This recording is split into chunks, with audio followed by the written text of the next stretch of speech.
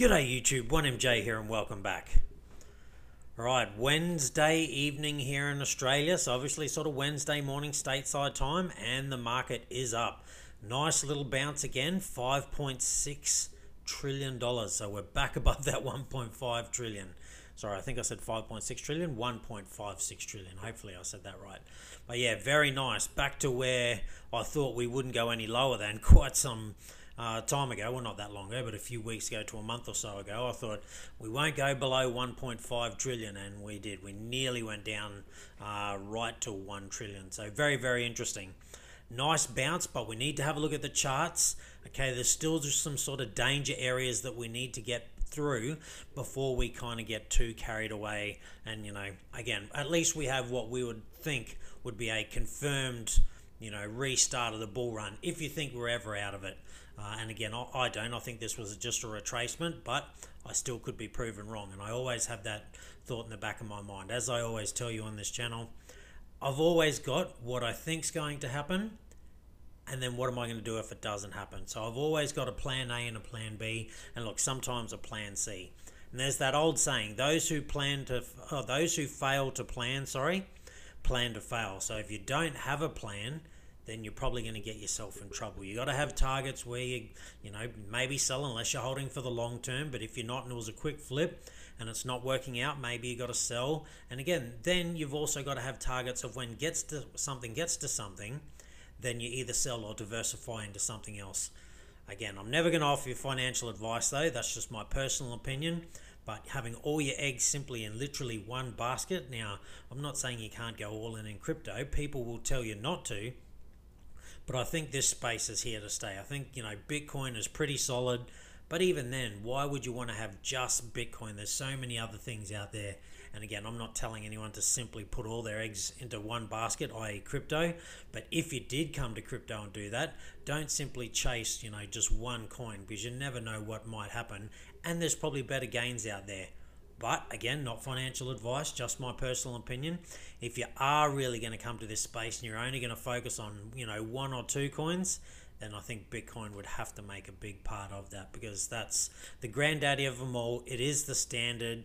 I don't see that changing anytime soon. Although, again, you know, maybe ETH flips Bitcoin for a very brief amount of time.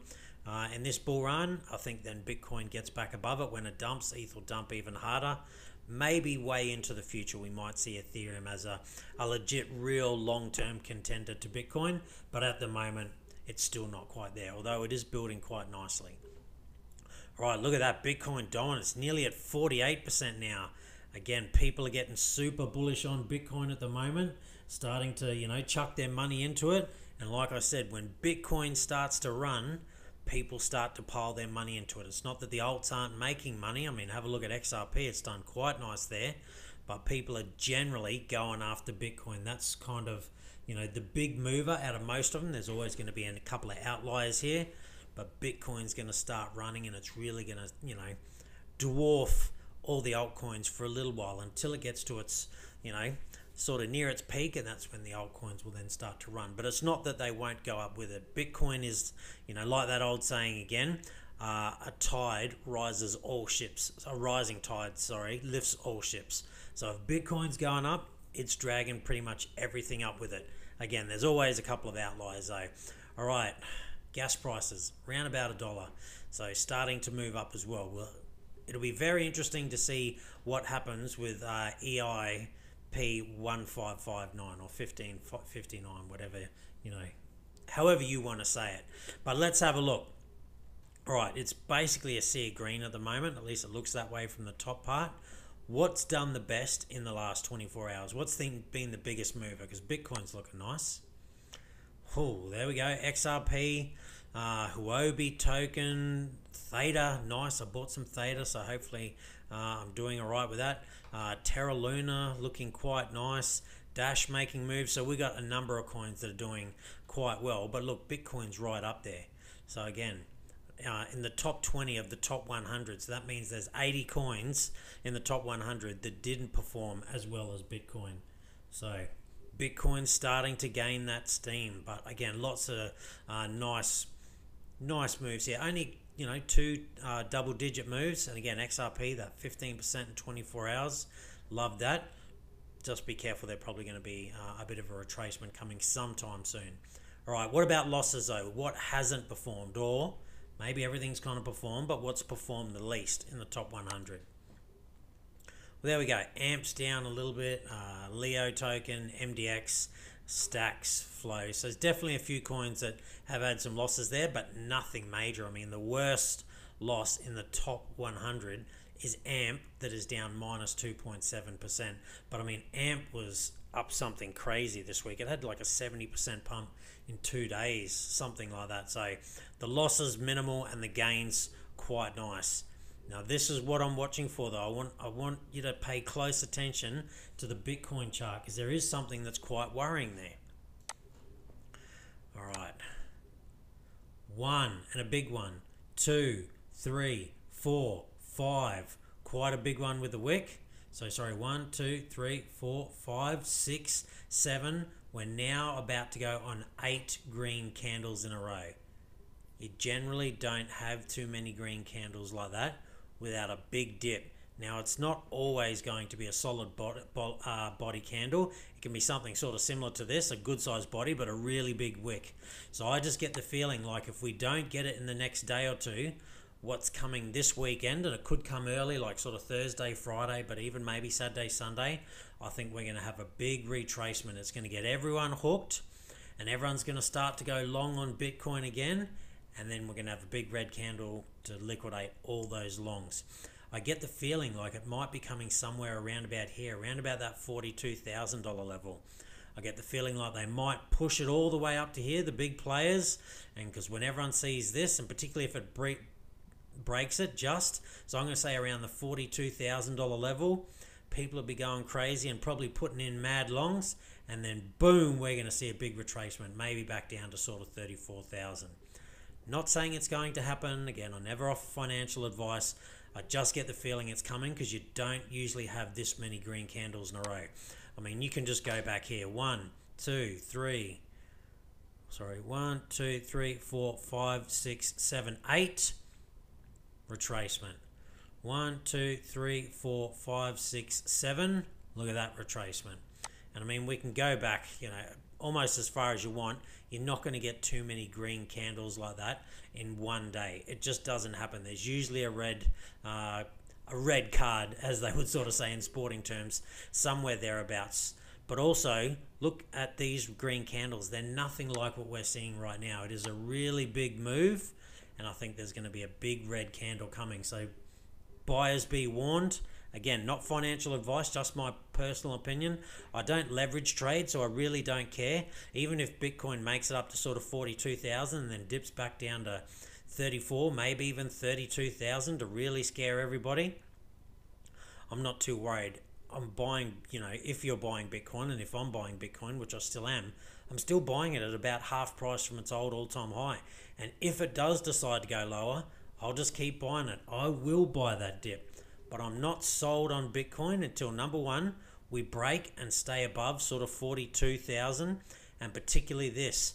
I get the feeling like we might reject from this and come back down, and that would be still bearish. It doesn't mean we're in a full bearish mode, but we really need to break this, hopefully, have a breakout, come back, retest it, and then start to make our way back up. That is when I'm going to be like, radio, sweet, 100% sold. This absolutely was just a bear trap, as opposed to this could still be a bull trap. So the bear trap is it makes everyone think that it's going into a bear market, but goes bullish. And this, and then there's the bull trap. It makes everyone think that it's going to go bullish, but then it goes bearish. So we're still waiting for confirmation on exactly what we have here. Right, moving on to news stories. US Bitcoin miner Stronghold files for a $100 million IPO to fund massive expansion. So Bitcoin mining in US is really starting to kick off. And look, it's going to kick off in lots of places around the world. And it'll be interesting to see what then happens with China. I wonder if China will get a bit of FOMO and say, you know what, we really shouldn't have kicked out too many miners. But at the same time, they don't want Bitcoin to do too well over there because they're really trying to sell their the Chinese yuan. So that is the dilemma that they're kind of facing. But it shows you that there's a big appetite for crypto at the moment, and particularly Bitcoin and Bitcoin mining. And excuse me, you can guarantee they're going to be a very, very green company as well. It's going to be super hard, particularly in the US, not so much other places around the world, but a lot of the developed nations at least, they're going to be they're going to want to be 100% green or as close to it as they can. Otherwise, they're going to have to, you know, pay taxes and things like that and, and penalty taxes because they are not environmentally friendly. So I think there'll be lots of money to be made from Bitcoin. They are really going to start to push the green narrative. And interesting again that they can just raise a hundred million dollars just like that. And yeah, let's just wait and see where the prices go because you got to remember these Bitcoin, you know, miners, their stock prices are going to go up and down with Bitcoin. So we're in the middle of a kind of bull run here. So uh, I'm not saying don't buy them now. And again, never financial advice. I have to keep saying that but I would probably wait to the bottom of the bear market before I bought into these. But again, I could be completely wrong, and maybe they they don't get hammered, uh, you know, by a bear market. But I get the feeling like they probably will.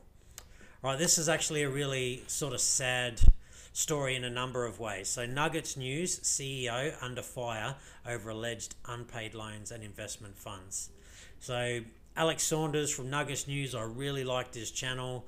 Uh, nothing's happening on his channel at the moment. It's probably got to do with this.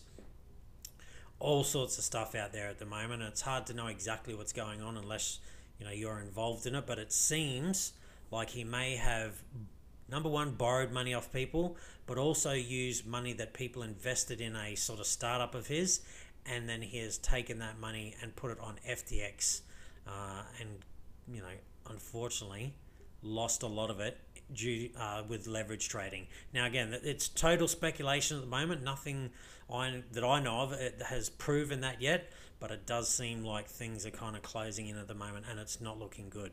So, popular crypto influencer Alex Saunders is under heavy criticism with numerous associates levying accusations Saunders owes them significant sums of Bitcoin. Oh, this is not good. So, according to the AFR, Saunders received roughly $7 million from 100 or so investors seeking to back his forthcoming stable project, Decentral, Decentral, Decentral Bank. So, he was starting up a decentralized stablecoin project himself, and it seems a lot of that money uh, was then moved over to FTX and put into leverage trading and unfortunately lost. So this is really bad news for anyone involved. And if I had given him my money and I'd lost it, I'd be super dirty. So I can completely understand how anyone who may have lost money is going to be really dirty on him. But I'm actually more really worried for him. There's uh, again chatter on Twitter and things like that that he may have a serious sort of gambling problem, particularly with you know leverage trading and that, uh, and he may have lost a whole lot of people you know, their money. So terrible for those people that have lost their money, but also really terrible for Alex because that means, you know, he's going to be having all sorts of dramas. He he made some really good calls in crypto, which has got me stumped. You know, he's you know he got people onto a number of coins really really early, and they made tons of money. But unfortunately, it seems like maybe you know, he chased the gains too much, which is funny because he had a couple of coins that were literally, you know, 10x's, 20x's, 30x's, and 100x's and things like that. So crazy to think that uh, he still needed, you know, to kind of do this if he's done this. You know, innocent until proven guilty. I hope it's not true, but at the moment it really is looking not favourable for him, and and a real shame because his channel was uh, really informative. Uh, his paid group I heard was really informative, and again, a number of people made a lot of money from him. But it seems a number of investors may also got into that uh, decentral bank coin, and it looks like those funds may be gone. So, yeah, uh, again, I'm sorry all around for everyone involved. It really is bad, but I just, I still hope Alex Saunders is all right. You know, he, got married not that long ago. I mean, it was a couple of years ago, I think, but he's got a wife, he's got a young son. You know, he had this you know, amazing channel there for a while. I hope that everything can get fixed and sorted, and it's, you know, not just a complete write off. That would be a really, uh, a really big shame. And you know, fellow Australian, uh, you know, if he's done wrong, he has to answer for his crimes. But you know, and innocent until proven guilty, like I said. But I understand there'll be people who will be really upset with him, and they probably know better than me about whether he's sort of guilty or not. Particularly people who've lost money. But I'll I'll hold judgment at the moment.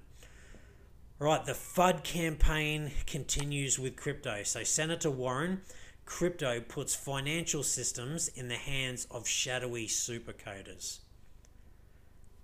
There is an element of truth to that. And so, I don't want to pretend like it's all complete rubbish and lies.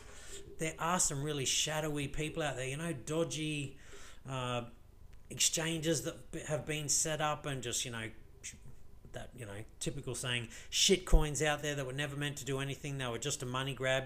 That stuff is out there.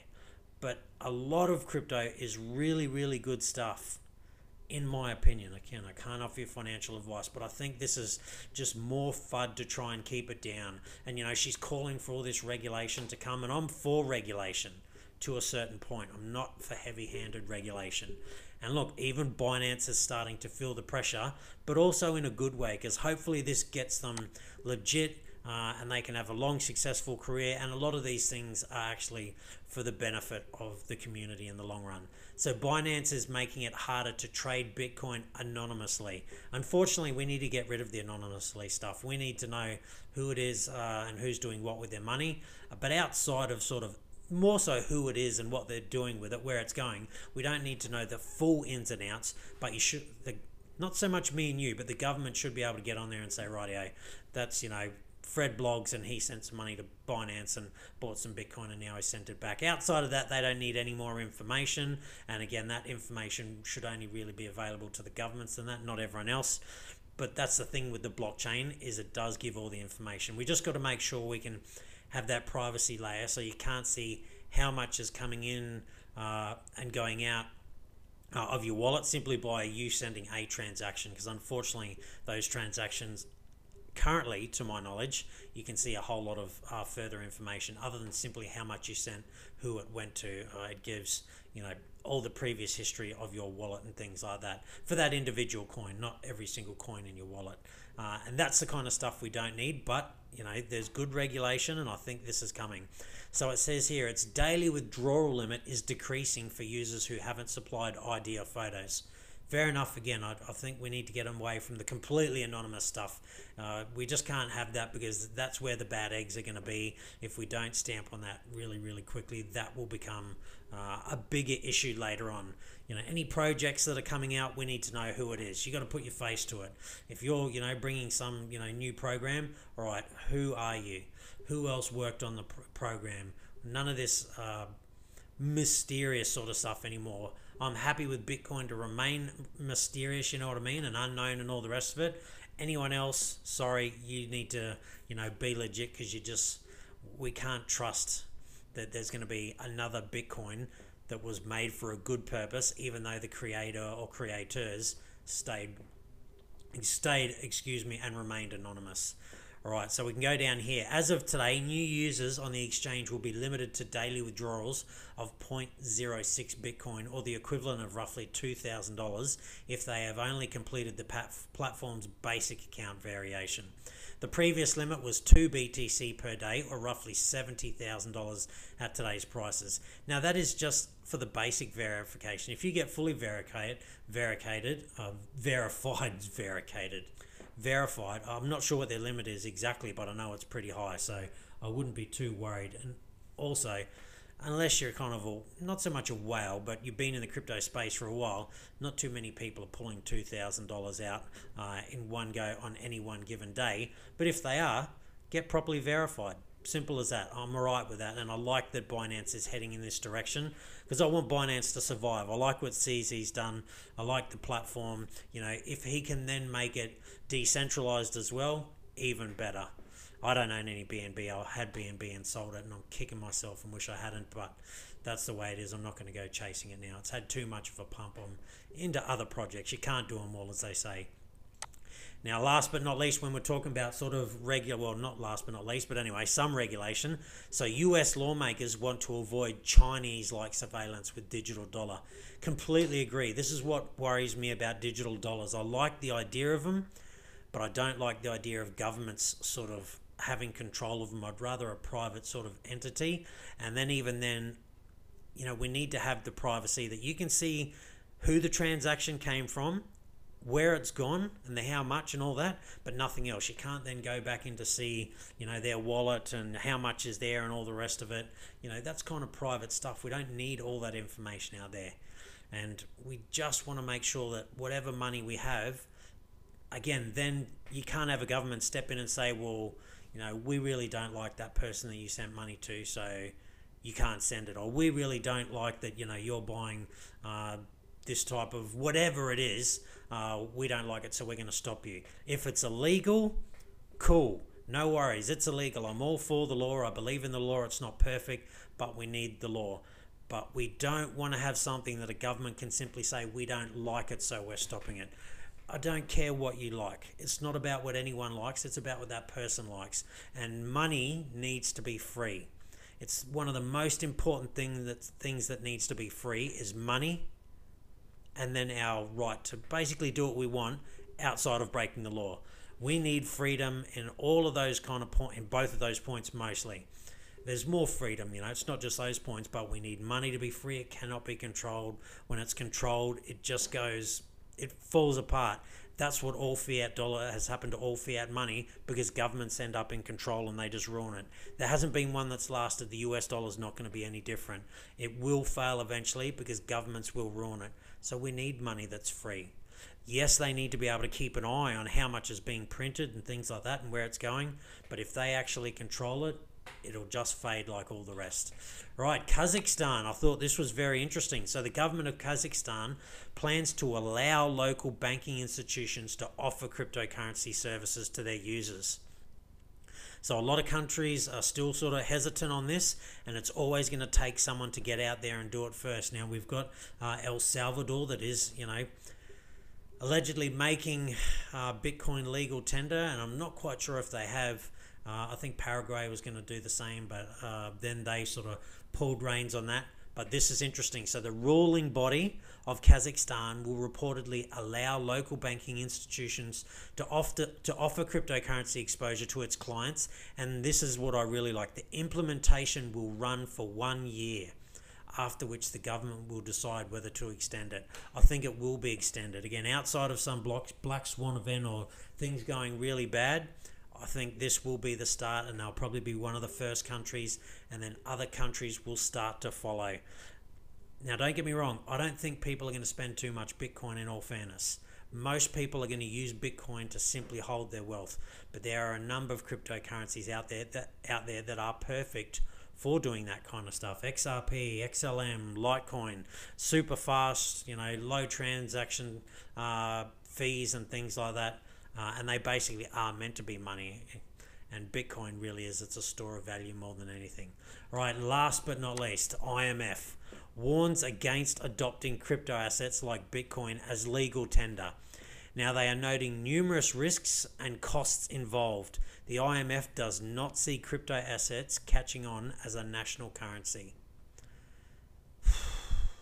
It might take a while, for something, you know, like a proper crypto to become a national currency, but I think it is catching on already. Not they don't see it catching on, it is already starting to catch on. And again, I think this is more a lot of FUD. I think they've seen the writing on the wall. They know exactly what's coming, but they're so entrenched in the cash system, they need to, you know, start to maneuver and, you know, move the chess pieces, as they would say, and get themselves set for what is coming. So they will put FUD out like this and make people think that, oh, well, it's never happening and we're going to stay with the dollar. Or, you know, if the US dollar doesn't make it, then the, you know, the Great British Pound or whatever other currency they start to, you know, use. Maybe even the Australian dollar. It won't be the Australian dollar. We're just not big enough. But, you know, let's say it was the Australian dollar. It's not going to last because governments control these monies and they always print them into oblivion. It's always happened, nothing has changed. We're still doing exactly the same now, making exactly the same mistakes. You know, it's going to take some time for the governments to learn. I think the next generation, so i.e., the children of today who are growing up, they're not going to fall for this. They're not going to allow uh, that to happen with money in the future, but it's going to take a long time to kind of change that. I mean, we need for our children to grow up right now. So that's, you know, probably another 20, 30 years before we can hopefully be rid of money that is controlled by central uh, points. Now, it's got to be made by someone, but then it can be completely, excuse me, decentralized. And again, we don't want governments or, you know, specific entities having too much control of it. They definitely need to have some regulation in that, but not control. Control, it just becomes a power bug and they always ruin it. That's just the way it's gone for the last few hundred, if not, you know, more years that we have had those kind of fiat systems. They've all been ruined eventually and it's always been by governments. All right, I won't take up too much more of your time. I want to have a relaxing night. Uh, I finally don't have an early start tomorrow and I want to try and enjoy it. So stay safe, be kind to one another. Everyone should be on that gain train at the moment and it's looking pretty good. But again, just beware. Eight green candles in a row doesn't happen too often. It could be a heavy rejection, at least with a big wick down, but I don't think it'll last long. All right, that's it from me. I'm out.